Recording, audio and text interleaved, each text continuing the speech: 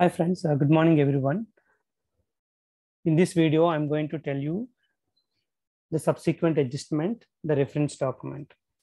The subsequent adjustments uh, for the subcontracting process will be done when you wanted to add any uh, additional components, uh, that kind of adjustments, we do it.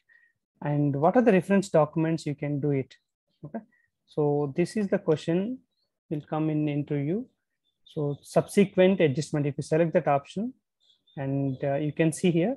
So what is the question and answer I'm going to ask you that.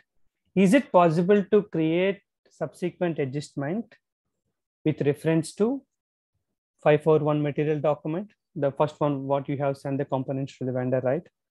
Or with reference to subcontractor? Answer is subsequent adjustment can be done with reference to purchase order only. You cannot do that based on uh, with reference to PO or uh, 541 material document or something else. I hope you learned one interview question and uh, with the proper answer for that. Thanks for watching.